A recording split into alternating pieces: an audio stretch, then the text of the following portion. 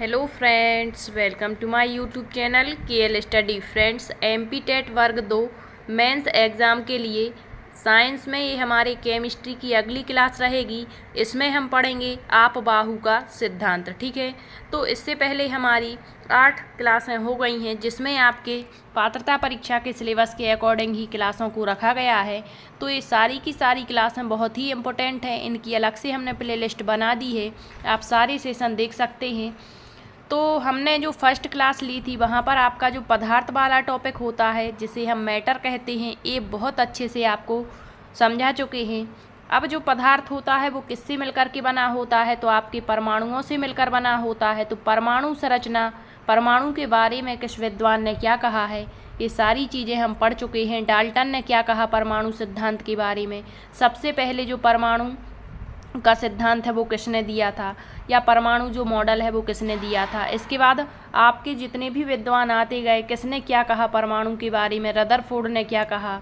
नाभिक के बारे में किसने बताया? इलेक्ट्रॉन प्रोटॉन, न्यूट्रॉन क्या होते हैं? मूलकण क्या कहलाते हैं? ये सारी चीज़ें हम कवर कर चुके हैं। इससे जो पिछला लेक्चर था, उसमें हमने आपको बताया था आपका जो बोर ब्यूरी योजना है, उसके अनुसार किस तरीके से जो इलेक्ट्रॉन हैं, वो भरे जाते हैं। वो वहाँ पर देखा था। इसके अलावा कक्षा क्या कहलाती है? कक्षा क्या कहलाती है? या जिसे हम सेल कहते हैं, ये क्या होती हैं? इसके बाद आपको बताया था, उप कक्षा या उप सेल क्या कहलाती हैं? तो ये सारी चीज़ें हम कवर कर चुके हैं। आज के सेशन में हम पढ़ेंगे आपके आप बाहू का सिद्धांत। क्या पढ़ेंगे? आप बाहु थ्योरी पढ़ेंगे, क्योंकि यहाँ से क्वेश्चन पूछ लिए जाते हैं और ये आपकी केमिस्ट्री के इम्पोर्टेंट सिद्धांत हैं। आपको इनको तो याद रखना ही है, क्योंकि यहीं से आपके केमिस्ट्री की शुरुआत होती है। अभी आप आगे चलकर आवर्त सारणी पढ़ेंगे तो वहाँ जो तत्व हैं, हर एक का परमाणु जो है, क्रमांक होगा, द्रव्यमान संख्या होगी, ये सारी चीज़ें आपको कवर करा चुके हैं। तो सारे सेशन आप देख सकते हैं प्ले लिस्ट बनी हुई है, ठीक है? आइए स्टार्ट करेंगे यहाँ पर और ये पदार्थ से संबंधित ही टॉपिक रहेगा आपका, क्योंकि पदार्थ किससे बना है आपके? परमाणुओं से। किससे बना है? परमाणु से। और जो परमाणु सिद्धांत है तो अभी हम वही तो पढ़ रहे हैं। जैसे मान के चलिए हमारा परमाणु है तो परमाणु के अंदर आपके जो है मूल कण कुछ उपस्थित होते हैं। जैसे परमाणु के अंदर क्या होता है? आपका नाभिक होता है। अब नाभिक में कौन कौन से मूल कण होते हैं? तो आपके यहाँ पर प्रोटॉन होते हैं और न्यूट्रॉन होते हैं। जबकि आपका जो आ, बाहर चक्कर लगा रहा होता है वो कौन सा कण होता है? वो इलेक्ट्रॉन कहलाता है। तो ये चीज़ें हम पढ़ चुके हैं ठीक है? अब यहाँ पर जो इलेक्ट्रॉनिक विन्यास है किस क्रम में इलेक्ट्रॉनों को जमाया जाता है वही इस सिद्धांत में देखने को मिलता है। तो एक क्वेश्चन डायरेक्ट पूछ लिया जाता है और क्वेश्चन देगा आपसे कि बताइए कौन सा एक सिद्धांत है जो आ, मतलब जो रसायन वैज्ञानिक हैं उनके नाम पर नहीं है तो वो आपका आपबाहु सिद्धांत है। आपको यहाँ पर कन्फर्म कर दें कि जो आपबाहु हैं ये किसी आपके वैज्ञानिक नहीं है, ठीक है? बल्कि ये एक शब्द है। तो आपको याद रखना है, अब हम ये समझ लेते हैं कि जो आप बाहु सिद्धांत है, वो आप बाहु ने दिया होगा, जो कि बिल्कुल ही गलत है। ये कोई आपके साइंटिस्ट नहीं है, ठीक है? ये मात्र एक आपका शब्द है, जर्मन भाषा का, और इसका अर्थ क्या होता है, वही यहाँ पर हम देखेंगे। और आपने खूब पढ़ा होगा, one S one one S two two S मतलब इस तरीके से जो इलेक्ट्रॉनिक विन्यास होता है तो ये चीज़ें यहाँ पर हम कवर करेंगे, ठीक है? तो देखिए, सबसे पहले आप बाहु सिद्धांत जो है, ये क्या होता है? तो आप बाहु शब्द समझिए, यह एक जर्मन भाषा का शब्द है। पहला क्वेश्चन यही बन सकता है, आप बाहु किस भाषा का शब्द है? तो जर्मन भाषा का। अब ए मतलब क्वेश्चन इतना छोटा सा है, लेकिन आप यहाँ पर कंफ्यूज हो सकते हैं तो थोड़ा सा समझकर चीज़ों को क्लियर करिएगा, ताकि आप यहाँ पर कोई भी क्वेश्चन उठ करके आ जाए, क्योंकि एक एक पॉइंट से बच्चे इधर उधर हो जाते हैं। तो आपको एक पॉइंट से भी ऊपर रहना है, ठीक है? मतलब एक नंबर तो जो होता है ना, एक नंबर आपके सिलेक्शन को रोक भी सकता है और सिलेक्शन करवा भी सकता है। तो चीज़ों को बारीकी से समझ करके पढ़ना है आपको, ठीक है? तो जो आप बाहु है, ये किसी विद्वान के नाम पर नहीं है, बल्कि एक जर्मन भाषा का शब्द है और इसका अर्थ क्या होता है?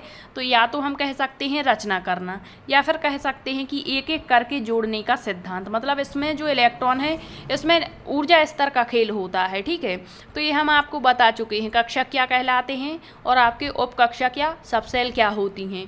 और ऊर्जा स्तर किस तरीके से कहाँ पर इलेक्ट्रॉन भरे जाएँगे? तो इतना आप समझ गए होंगे। आप बाहु जर्मन भाषा का शब्द है और इसका अर्थ ही होता है एक एक करके जोड़ना। अब देखिए, सब सेलों में, अब आप कहेंगे, ये सब सेलें क्या होती हैं? तो इससे पिछला लेक्चर ज़रूर देखें, क्योंकि आपको हमने सबसे पहले तो क्या बताया था? मान के चलिए, ये हमारा क्या है? परमाणु है। ठीक है? अब परमाणु जो होता है, इसके अंदर क्या होता है? ये आपका नाभिक हो गया। क्या हो गया? न्यूक्लियस हो गया। ये आपका क्या हो गया? परमाणु हो गया। ठीक है? क्या हो गया? परमाणु। उसके अंदर क्या हो गया? आपका न्यूक्लियस हो गया। अब देखिए, यहाँ पर क्या होता है? आपके जो हैं कई कक्षाएँ होती हैं। क्या होती हैं? वन मिनट रुकिएगा, यहाँ कई कक्षाएँ होंगी आपकी, ठीक है? जिसमें आपके इलेक्ट्रॉन क्या कर रहे होंगे? चक्कर लगा रहे होते हैं। तो ये मान के चलिए कुछ कक्षाएँ हो गई, ठीक है?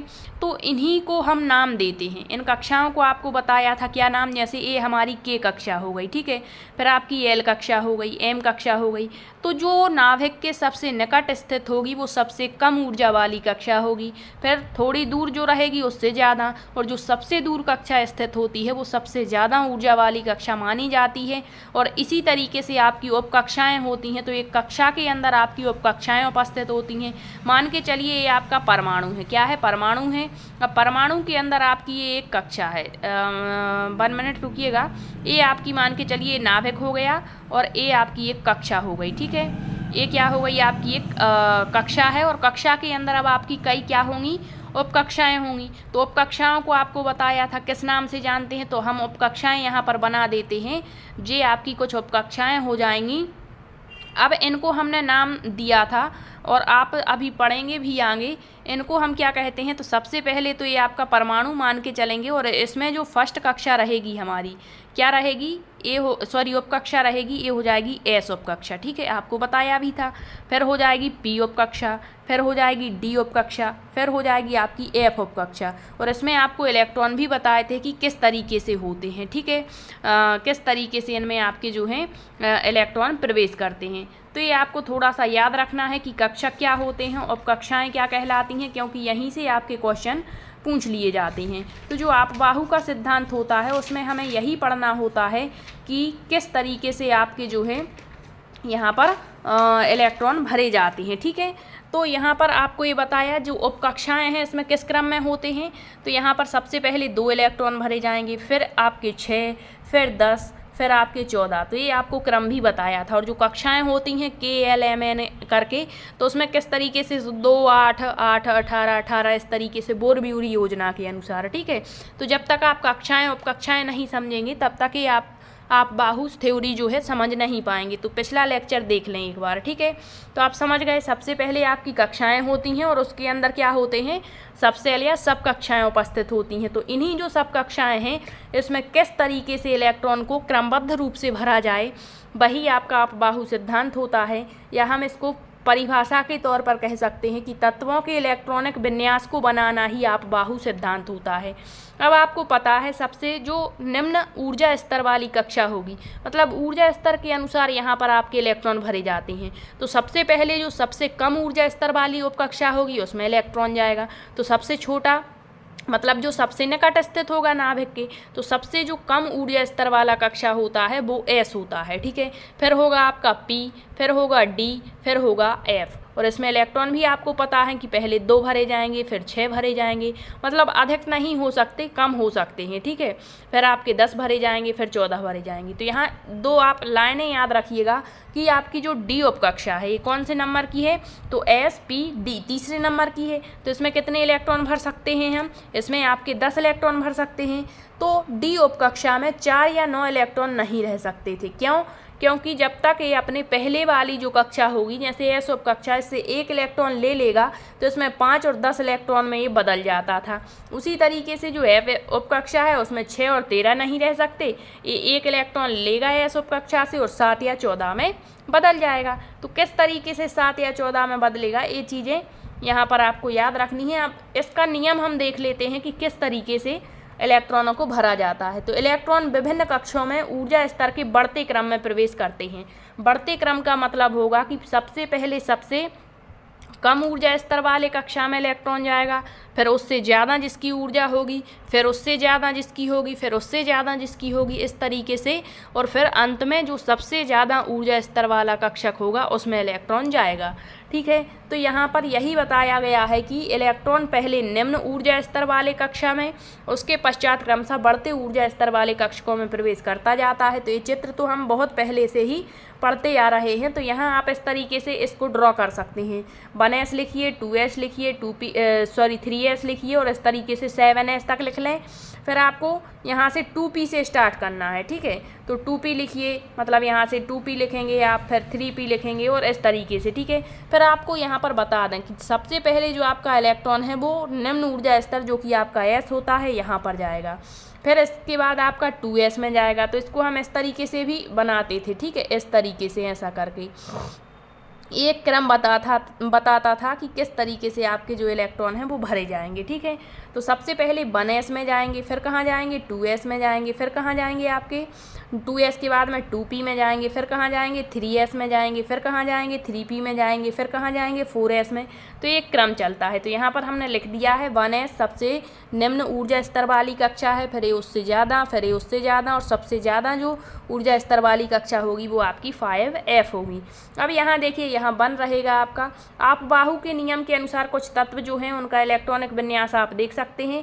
पहले एस में इलेक्ट्रॉन गया यहाँ पर दो हैं तो यहाँ पर आ, मतलब एस में कितने जा सकते हैं अधिकतम इलेक्ट्रॉन दो। फिर यहाँ तीन है तो पहले तो दो यहाँ पर भर गए निम्न ऊर्जा फिर आपका टू एस बन हो जाएगा ठीक है? इसी तरीके से यहाँ फाइव बी में देखिए। बी में टू मतलब इसका कितना है? पाँच है। तो इसमें वन एस टू अधिकतम टू हो सकते हैं टू एस टू और टू पी वन इस तरीके से दो चार और एक पाँच हो गया। ठीक है तो ये एक क्रम चलता है। तो ये होता है आपके आपबाहु का सिद्धांत, जो कि इम्पोर्टेंट था, और ये आपको याद रखने हैं। इसके बाद आपके कई और थ्योरीज आएँगी, जैसे आपके पावली का सिद्धांत आएगा। पावली का जो नियम होता है वो क्या होता है? हुंड का नियम आएगा ठीक है? और इससे आ, मतलब जो अगला लेक्चर होगा उसमें हम क्वांटम संख्याएँ पढ़ेंगे क्योंकि यहाँ से क्वेश्चन पूछ लिए जाते हैं। क्वांटम संख्याएँ भी आपकी चार प्रकार की होती हैं। मुख्य क्वांटम संख्या क्या होती? है दिग्गसी क्वांटम चुंबकीय क्वांटम चक्रण क्वांटम संख्या। इनको हम समझेंगे क्योंकि ये आपके इलेक्ट्रॉनिक विन्यास पर ही डिपेंड होती हैं तो किस तरीके से चीज़ों को यहाँ पर पढ़ना है। क्रमबद्ध तरीके से हम पढ़ते हुए चलेंगे, ठीक है? और केमिस्ट्री के हमारे आठ लेक्चर हो चुके हैं, आप ज़रूर देख लें। अलग अलग प्लेलिस्ट बना दी है। बायोलॉजी के लगभग हमारे साठ लेक्चर हो गए हैं, जिसमें लगभग लगभग हमारे बायोलॉजी के सारे ही जो पात्रता परीक्षा में टॉपिक दिए गए हैं, वो कवर होने वाले हैं। तो उनके हम प्रैक्टिस सेट भी लगवाएँगे आपके लिए, ठीक है? और आपके पास में टाइम बहुत ही कम है तो तैयारी को आप बहुत ही अच्छे तरीके से और अधिक से अधिक समय दीजिए और अधिक से अधिक चीज़ों को कवर करने का प्रयास करिए, ताकि आप एक अच्छा स्कोर कर पाएँ, ठीक है? और केमिस्ट्री में अभी हमारे जो इलेक्ट्रॉनिक विन्यास से संबंधित टॉपिक हैं, ये कवर हो जाएँगे। तो फिर आपकी जो है तत्व जो अभी हमारे रह गए हैं, जो वर्गीकरण हमने किया हुआ था पदार्थों का, एक तो होता है भौतिक आधार पर पदार्थ और एक होता है रासायनिक आधार पर पदार्थ। तो पदार्थ के जो भौतिक आधार थे, ठोस, द्रव और गैस, ये हम आपको करवा चुके थे, ठीक है? अब हमें रासायनिक आधार पर पदार्थ के प्रकार पढ़ने हैं, जिसमें हम पढ़ेंगे तत्व क्या होते हैं। तत्व में आपको पूरी आवर्त सारणी पढ़नी पड़ेगी, ठीक है? क्योंकि जो तत्व होते हैं, उसमें धात्विक तत्व, अधात्विक तत्व आ जाएँगे, अर्थात धातु और अधातु और उपधातु आ जाएँगे, ठीक है? फिर हमें पढ़ना होता है यौगिक। यौगिक में भी आपको कार्बनिक यौगिक क्या होते हैं, अकार्बनिक यौगिक क्या होते हैं? फिर आपको पढ़ना है मिश्रण। मिश्रण में आपको पढ़ना समांग मिश्रण क्या है, विषमांग मिश्रण क्या है? फिर जब ये आपके भौतिक और रासायनिक आधार पर पदार्थ के प्रकार हो जाएँगे तो हमें पढ़ना है पदार्थ के पृथककरण की विधियाँ, जहाँ से दो क्वेश्चन पूछे जाते हैं। आपने सुना होगा नाम, जैसे ऊर्ध्वपातन क्या कहलाता है, ठीक है? इसके अलावा थ्रेसिंग क्या होती है? इसके अलावा अवसाधन की प्रक्रिया क्या होती है? तो ये आपके पृथककरण की विधियाँ होती हैं, जहाँ से बिल्कुल बिल्कुल दो क्वेश्चन पूछे ही जाते हैं और थोड़े से डिफ़िकल्ट लेवल से क्वेश्चन बनते हैं ताकि जो अभ्यर्थी हैं वो कन्फ्यूज़ हो जाए, ठीक है? लेकिन हमें सारी चीज़ों को अच्छे से कवर यदि हम करते हैं तो यकीन मानिए आप लंबे समय तक चीज़ों को याद रख पाएँगे और अच्छा स्कोर भी करेंगे, ठीक है? तो मिलते हैं अगले सेशन में, तब तक के लिए सभी का बहुत बहुत धन्यवाद।